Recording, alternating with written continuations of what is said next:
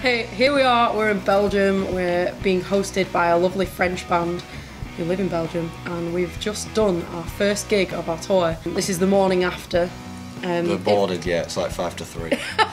It's, it's three o'clock. It's the morning after. It feels like the morning speak. for us, yeah. Yeah, this is what mornings are for bands. It's 3 p.m. It was sick. really it was well. amazing. Really it went so well. Like it feels so reaction. good. Definitely. People were coming over after and like getting selfies with us, and we had an interview, and hopefully it's uh, made some good contacts as well because there were some people there who have added us and then sent us sent us different venues that they work at, saying that we could book in for gigs with them, and they're all in Europe. So Yes, hopefully. basically this tour hopefully will be the the planning and another part of the planning phase for next year's tour where we're going to do lots more venues and stuff like that so it's really good Had a few, uh, few technical hitches, didn't we? yeah, In the, uh, yeah. they my always fault, happen My fault. Um, but we sorted them out. Yeah. It's quite quick. But that's it. Like I was going to say, that's the great thing about Europe.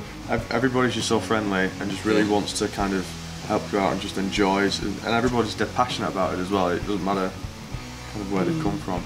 But yeah we managed to do the gig and it felt amazing it Yeah, was it really was- good It was brilliant. and now we're gonna go and busk, aren't we? Yeah, we're gonna do go some and jamming. busk. We're gonna have a photo shoot with Nathan Ellerton, our our beloved Nathan, who is behind the camera. Behind the camera, we can't see him at the moment. Yeah. We can. And um, yeah, we can. And then uh, yeah, we're going to the rock school tonight, aren't we? yeah, Brussels Rock School Yeah. And we're gonna jam with the French people that are hosting us. and, and the, the tutors at the Rock School. The Rock School actually is really interesting. They do like private tuition on, on instruments, and it's all it's all about rock and roll and being in bands and musicianship and all that kind of stuff. Hmm. Um, but they also have a football field. So they also have games of football sometimes, Whoa, oh which God. is really cool. Allez, allez le bleu. Is that gold or Blues Yeah. in French? It's a French. Yeah, it's a French thing. Right. Vive la France.